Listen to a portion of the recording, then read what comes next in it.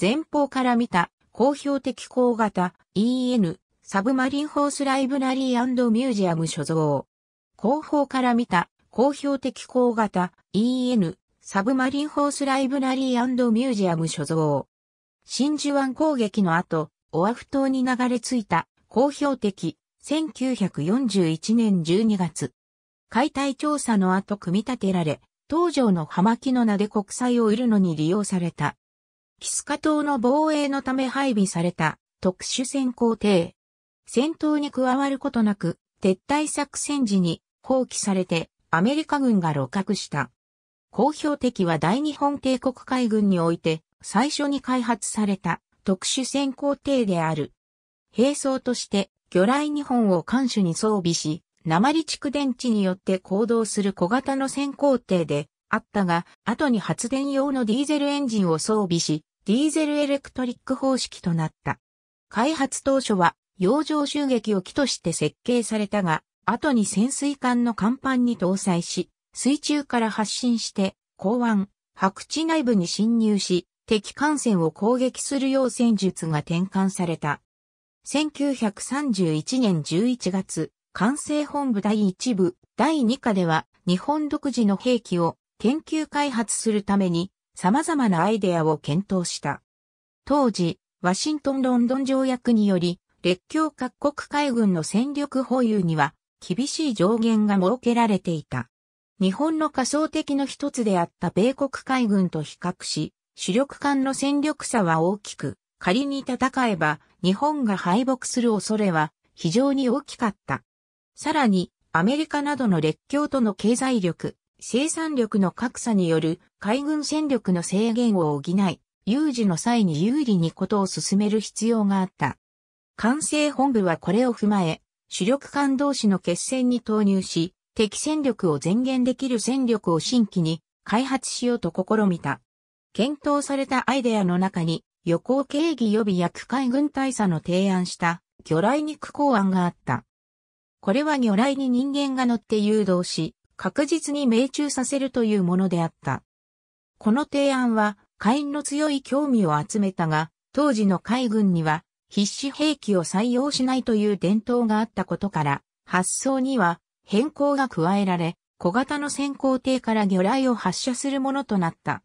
芝国明大佐の案に、母艦搭載の超小型潜水艦の着想があり、艦隊主力とともに潜水艦を随所に待機させられる構想だった。1931年12月、管制本部第1部、第2課長に、岸本金次大佐が着任すると、魚雷型超小型潜水艇の開発が始まった。基礎設計は、浅まり映像兵中佐による。浅間はこの兵器が成立するものかどうか疑念を抱いて、いたが設計に着手、1932年6月には全長12メートルの模型が完成し、空気省の水槽実験室を用いて、航行状態の水流の状況を調査した。この試験では、司令塔周りの水流が高速になるほど、下流が尖閣沿いに強く流れて推進機に悪影響を与えることが分かり、結果を踏まえて設計が変更された。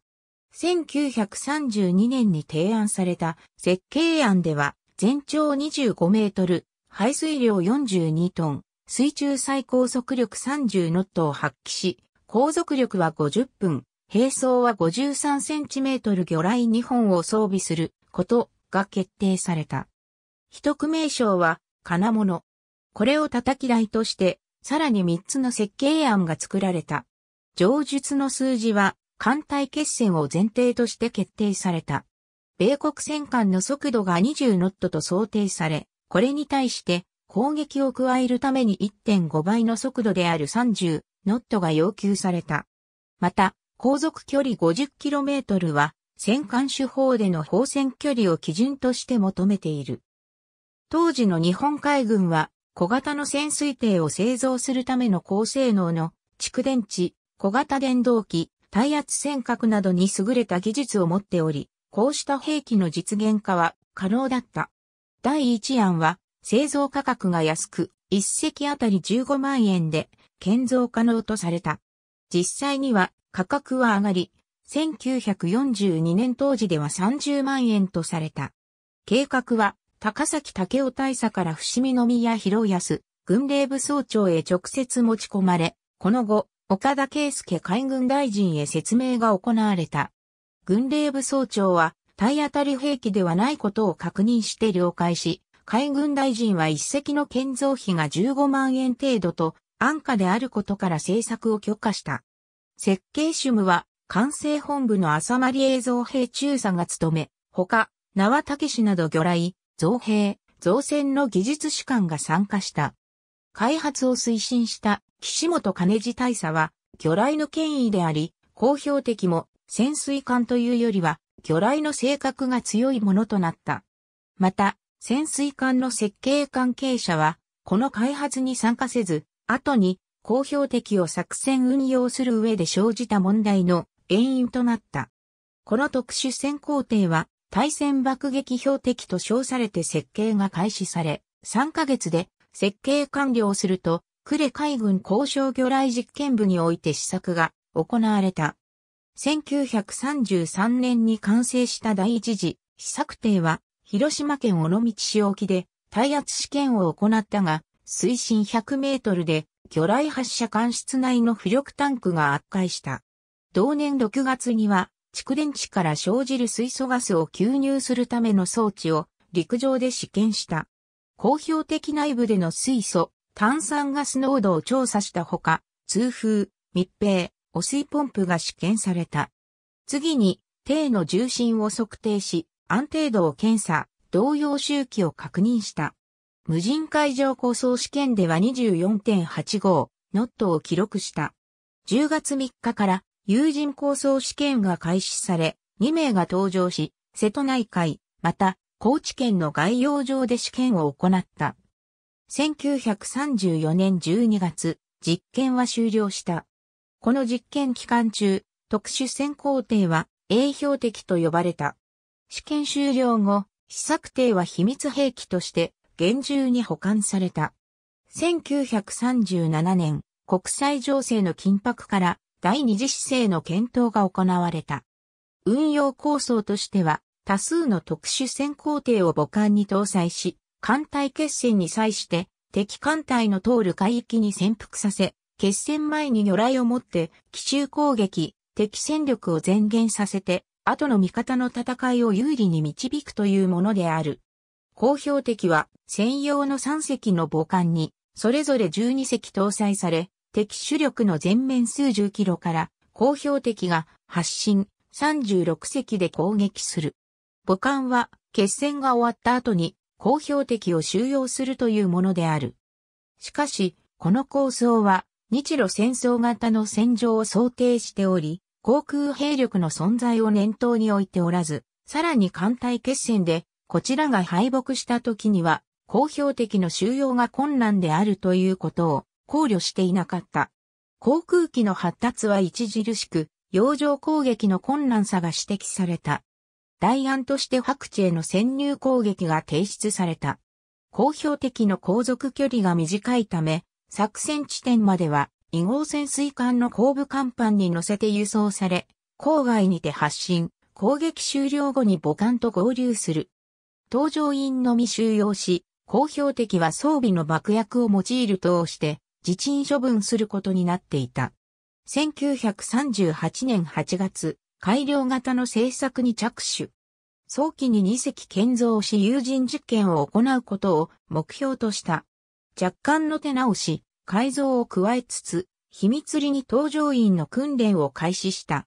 呉軍港付近に所在する倉橋島の大浦岬に実施部隊大浦、突撃隊 P 基地が設営され、搭乗員の訓練や公表的の製造と整備を担当した。ただしこの基地が稼働するのは1942年10月からである。それまでの訓練、要請には移動基地として千代田が選ばれ、瀬戸内海他各地で訓練を実施した。1939年7月7日、第二次市政標的の建造が開始され、第1号艇は1940年4月、第2号艇は同年6月に完成した。一隻あたりの建造費は26万円である。この時の姿勢でも設計開発は管制本部からの人員で担当しており、潜水艦に携わる現場の関係者は参加していない。搭乗員は関と高密隊員と堀敏夫機関注意であった。死成功標的は1940年5月5日から6月6日まで各種陸上試験と性能の調査、7月から8月に、かけ、千代田からの発信試験を行った。結果は満足なものではなかった。海面が大きくうねる概要では、司令塔が海上に現れ、隠密性が失われた。また、模擬魚雷の発射に失敗し、魚雷が3分の1ほど停止から突き出た状態で滞留していた。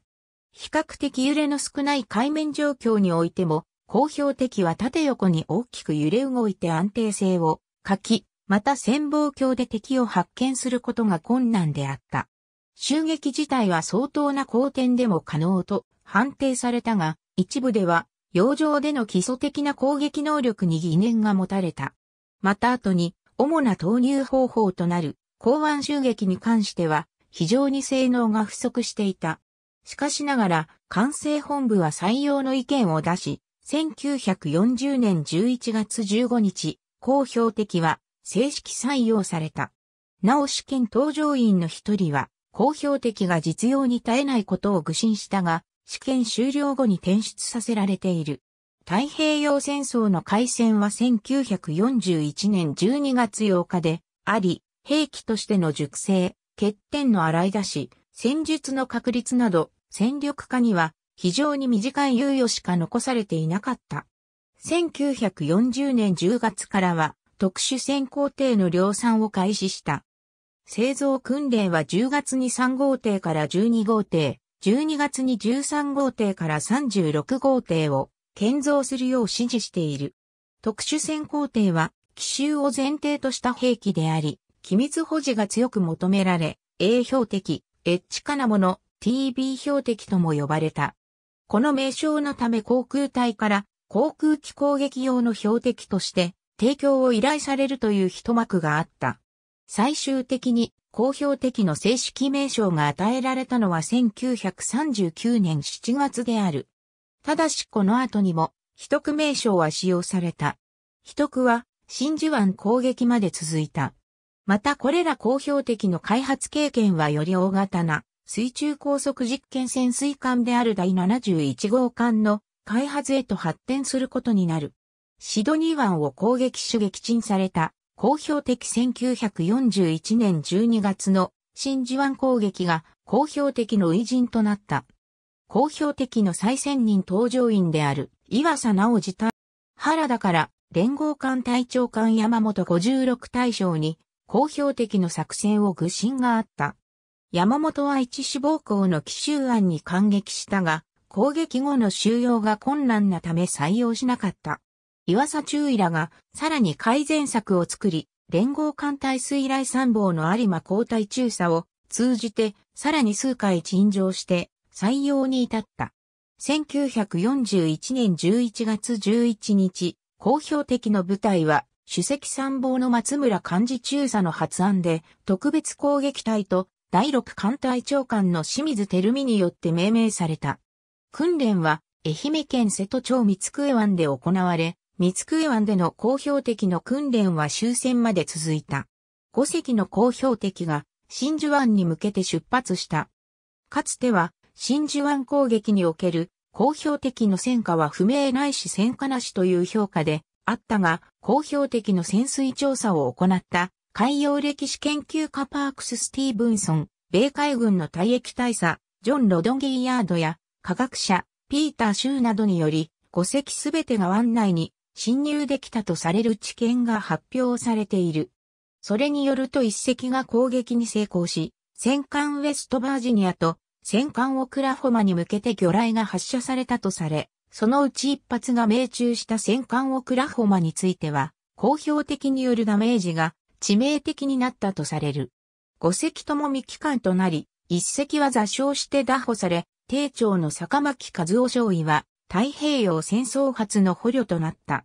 その後、1942年4月、オーストラリアのシドニー航攻撃では3隻による第1特別攻撃隊、マダガスカル島のディエゴ・スアレス港の攻撃では3隻による第2特別攻撃隊、ガダルカナルでは第3特別攻撃隊が実施された。公表的の部隊は、その後も数が増えていったため、特別攻撃隊の名前は使われなくなったが、後の必死の特別攻撃隊に名前は受け継がれた。シドニー港攻撃を行った公表敵は、米中巡洋艦シカゴの撃沈に失敗したが、合宿白線クッタバルを撃沈、乱潜水艦 K9 を中破させ、大胆不敵な作戦行動による勇敢さは、現地司令官の英国海軍将校から称えられた。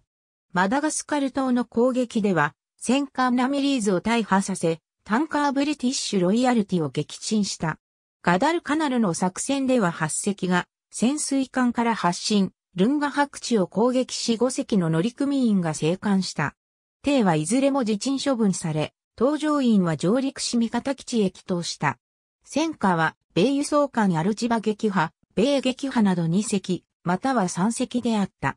ガダルカナル島の戦いで、敵反抗阻止に失敗した後、日本は主勢に転じ、公表敵も防御兵器として使用されるようになる。フィリピンの作戦では、セブに基地を作り、前進基地を設けて、公表敵が進出、米戦団部隊を狭い水道で襲撃した。公表敵を熟知した指揮官、原田聡少将の作戦指揮のもと、改良された兵型8隻を揃えて、集中運用した。見張り所、公表敵専用の整備施設、前進基地など支援体制を整えた上、セブは内海であり、小型の公表的でも進出策敵が容易であった。こうした好条件から日本側判定としては艦船20隻を撃沈した。米側は駆逐艦1隻の喪失を記録している。実際の戦果は乏しかったが作戦自体は高度なもので、1944年11月から1945年3月23日まで安定して生還と襲撃を繰り返した。公表的の欠陥とそれに伴う作戦遂行の難しさは現場の搭乗員や技術者たちも理解しており、その不満が行動力不足を改善するためにさらに大型化した高量と特攻兵器である人間魚雷回転の開発につながった。公表的高型は全長23.9メートル、全高3.4メートル、単角式尖閣の最大直径1.85メートル、全没排水量46トン、喫水は1.88メートルである。耐圧深度は100メートルである。浮上状態時には司令塔のみが海上に現れた。形状は単角形式の船体中央部に司令塔を配している。公表的の尖閣は全部中央部、後部のセクションから構成されており、このセクションごとに分解、内部に収められた魚雷射出灯、蓄電池、発動機を整備できた。ハワイで調査された公表的の分解写真からは、公表的の並走の名板に射出灯という名称が刻印されているのが確認でき、また接合部は穴開きフランジが設けられ、例として、全部と中央部セクション結合部には結合ボルト鋼が70個開かれている。全部セクションは全長6.406メートルであり、17箇所のフレームで尖閣を水圧から支えている。内部には45センチメートル魚雷を収めた射出塔2つと発射用儀蓄機2つ、ソーダ用儀蓄機2つ、電装及び機蓄機配管、バラストタンクが配置されている。全部セクションの中央部付近の前よりに、全端球状隔壁が設けられ、水密になっている。バラストタンクはこの隔壁よりおおむね前方に、また基地機はこれより後方に収められた。射出塔はこの隔壁を通して前方へ伸びている。射出塔は艇の中心線上、縦に2本並べられ、艇首から先端を一部露出させている。この先端にはキャップが取り付けられており、筒先を保護している。発射時にはこのキャップは圧搾空気の圧力によって吹き飛ばされる。ソーダ容疑蓄機はこの射出塔の左右に一本ずつ配置された。さらにその下部に一本ずつ発射用儀蓄機が配置されている。後方から撮影された司令塔周り。操縦室の隔壁に後部蓄電池室と連絡する開口部が見える。中央部セクションは全長10.407メートル、37箇所のフレームで尖閣を水圧から支える。内部は中央部分に司令塔と搭乗員の操縦室、前部と後部に蓄電池室を備えた。中央部操縦室の前席に手付け、後席に艇長が位置する。手付けはソーダとトリム調整を担当し、艇長は索敵と運行式を担当する。直径70センチメートルの司令塔内部スペースには、昇降可能な97式特メガネが備えられ、その前方に外部への直径55センチメートルの交通灯とハッチが配置された。最前部に無線用のマストが格納されており、操縦室天井の手動ハンドルで昇降できる。操縦室中央部には97式特メガネを操作するための踏み台が備えられていた。右舷側には97式特眼鏡用の昇降装置とモーターが備えられ、後部に無線機、電灯などの伝送品が備えられている。左舷側には後部に放電系、境自調整器、応急タンクが配置され、全部には97式天輪羅針儀、重打打輪、振動機が備えられた。操縦室は蓄電池室と隔壁で区切られ、点検用に小判型の小さな連絡口が設けられている。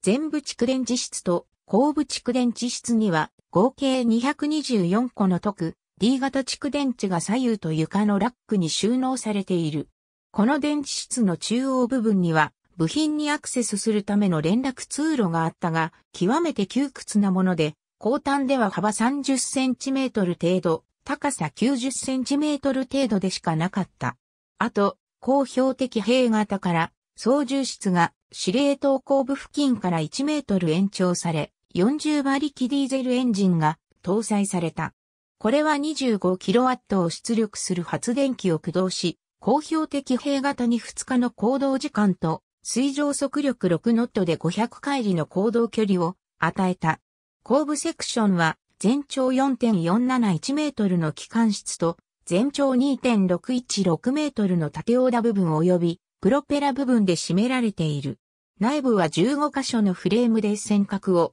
水圧から支えている。セクション全部には600馬力を出力する電動機が置かれ、動力は減速ギア、二重反転ギアを介して減速され、二重反転式のプロペラへ伝達される。後部セクションの中央部、尖閣の天井部分には、ギアにアクセスするためのマンホールが設けられていた。ソーダ装置は、当初空圧式ソーダ機であった。10の打は、飛行機での垂直尾翼に相当し、左右方向の旋回を司る。オーダは水平尾翼に相当し、昇降を司る。このうち、潜水艦の挙動として横方向の旋回性が求められたが、10打は縦50センチメートル、横37センチメートルの台形であり、舵面積が小さく、スクリューの前に舵を配したために、舵の効きが悪い。旋回圏は450メートルと、大型艦並みだった。これは、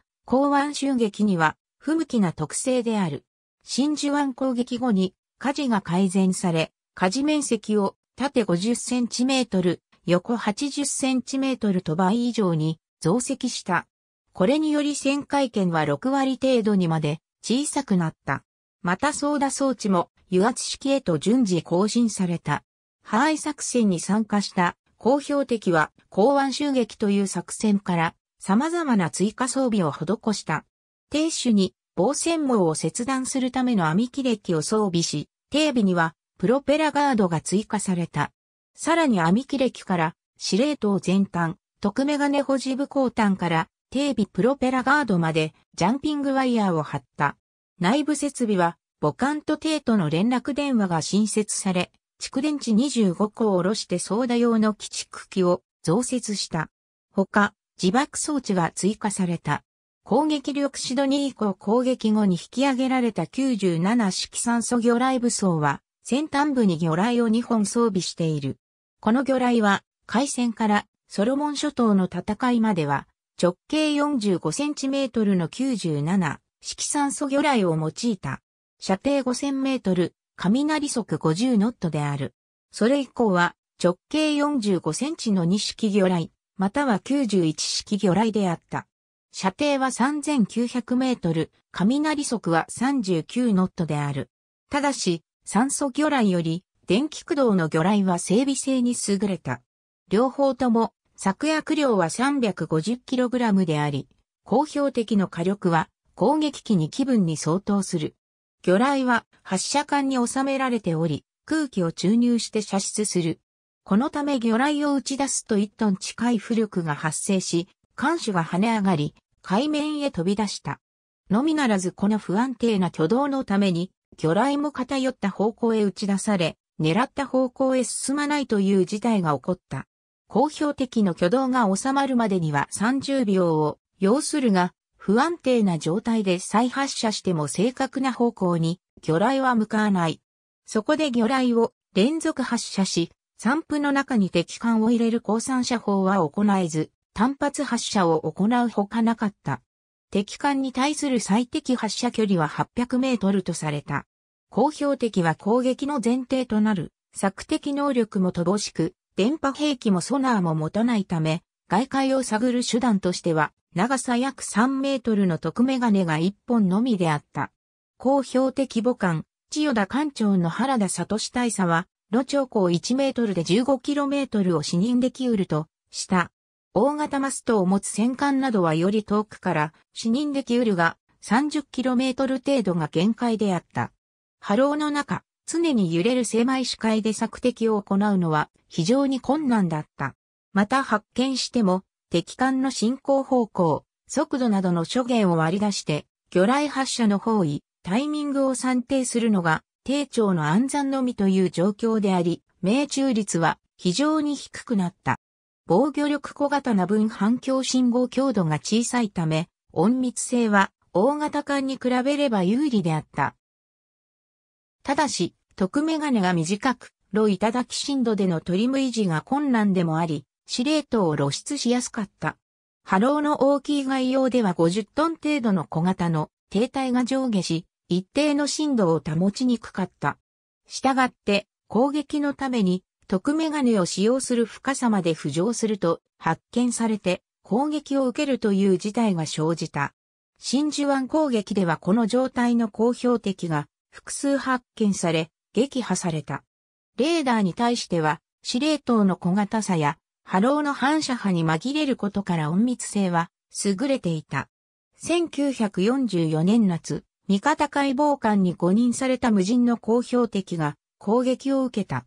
これは沖縄に進出するため栄光中の公表敵に1時間近く機銃射撃と爆雷攻撃を加えたものであった。司令塔に11発の被弾があったが他に被害はなかった。機動性台より後にプロペラを配した火事害の効かない構造のため運動性能は悪かった。低速で約400メートルの旋回範囲であり、大型艦並みであった。水中最大速力は19ノットが出たものの、持続時間は50分程度であり、現実的な乗用速力は6から10ノット程度であった。公表的光型は内燃機関を持たず、蓄電池のみであり、6ノットで80回里の航続距離しか持たなかった。戦訓を反映して内燃機関を搭載した改良型の兵型は300回里、低型は1000回里を水上構想できた。諸言表に出ないものとして、重環境が非常に悪く、先行では12時間が登場の限界だった。二酸化炭素の増加、酸素の欠乏、ガス、艇内の温度上昇、搭乗員の疲労などが原因である。公表的は関西機のように母艦、または基地への依存度が高い兵器であった。これは電池の管理や魚雷の整備など、艇の人員単独では維持することが難しいためである。搭乗員の他に整備員が必要であり、ラバウルでは現地の技術士官が整備に当たった。ガダルカナルでは千代田が支援に当たっている。海上自衛隊で潜水艦艦長を務めた中村秀樹は、公表的は潜水艦というよりは航空機に近い性格を持つと評している。呉軍港での考慮をなお、二列目右側に見える他と異なった艇は兵型を改造した練習艇である軍令部参謀として真珠湾攻撃での特戦使用を推進した有泉龍之介。終戦時に旧軍神の写真を前に自決した。以下は真珠湾攻撃、シドニー湾攻撃、マダガスカルの戦いに参戦した特戦闘乗員たちの画像。1940年11月15日に発令された第一期講習員は、岩佐、秋枝の2名、太田、岩瀬は1941年10月に発令された第3期講習員、その他は1941年4月に発令された第2期講習員である。太田誠二は後に、伊52航海長として、剣独潜水艦作戦で、坪倉は、ルンガ白地攻撃で戦死している。八艦は戦後自衛隊幹部となり、特選の非建立委員長を務めた。写真左から、左下から片山義夫、佐々木直吉、横山重則、横山正春、岩佐直治、古野茂美、広尾明、上田忠、稲垣清左から友野勝久、八巻定治、中馬健四、秋枝三郎、松尾義孝、大田誠治、岩瀬勝介足部神、松本聖、大森武史、竹本正美、土地区、正尾、坪倉、大森木、高田光山、艦隊コレクション艦これから装備として、高型と兵型が登場する。ありがとうございます。